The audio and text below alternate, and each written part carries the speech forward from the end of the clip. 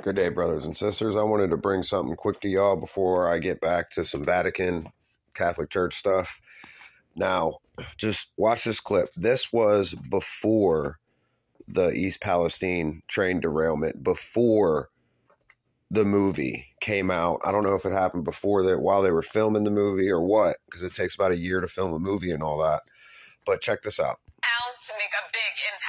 East Palestine's excited to make an important medical device available to all 4,700 residents. I told you about it in October. 4,700 residents. There's that number, 47. Or start signing up. The My ID program is ready to roll out in East Palestine. It's a medical information system which helps first responders provide care. And it gives us that rapid information that we may need should somebody be unresponsive or having some kind of medical emergency. My ID provides wearable devices or key fobs which have QR codes. Emergency responders use a camera phone to access important medical information. It shows them the underlying medical conditions you've supplied about allergies, medications, even emergency contacts. That information could impact treatment decisions if a person can't say it. All of the information is HIPAA compliant. My ID is available in East Palestine and Unity Township. The fire department will demonstrate it to other departments which provide backup. My ID can be used anywhere.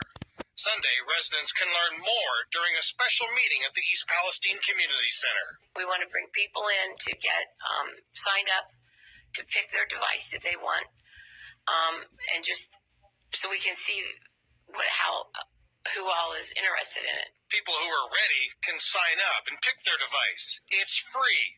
The village has $5,000 in donations to cover the first phase of 250 devices. Anybody that's skeptical, please come on down, sit down, talk to us. We'll be happy to show you everything that goes on with it. We'll be happy to show you how secure it is. Now, people who sign up Sunday could get their devices within a couple weeks, and that's when My ID will go live. Any phone camera. Is it just me, or does this This was, uh, I got this. I can't find the actual clips, but this was off this guy, Cinema Shotgun. It was weird how I just woke up the other morning and this was in my scroll. Now, check this out. So, on top of that, what are the odds that the iWatch has a band called the Palestinian Watch, the Palestine? And then check this you're going to see one that says Free Palestine. That one says Palestine on it. And now you're about to see one that says Free Palestine. Vintage. I Watch band. They were giving them away for free. They would like to cover all 4,700 residents.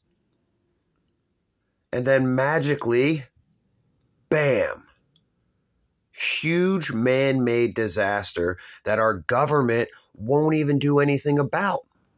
Biden goes to Ukraine to give them more money instead of going here to do something. So, who did show up to go do something? Our former president, Donald J. Trump, went there to go give them, I think he gave them like $500 million to help with this.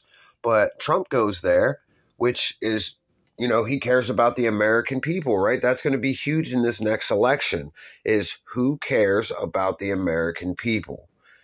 Who's more about killing people and who's more about saving people? Now, check this out. Donald J. Trump was the 45th president. Biden, I can't even say Joe Biden's full name. I, I'm just I'm disgraced to the guy. I don't care about either side, but you pick the lesser of two evils. And that usually becomes the worst evil even by doing that. But the 46th president was Biden, the 45th president was Trump. Take a guess what number comes next. 47.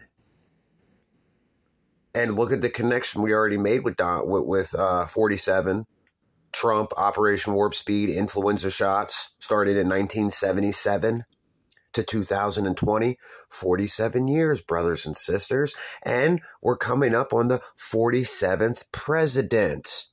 Now, there's a scene in Moonfall that I want to bring to y'all that gives us a date about 2024 of October, which in that video, I will bring to you my personal thoughts of the movie.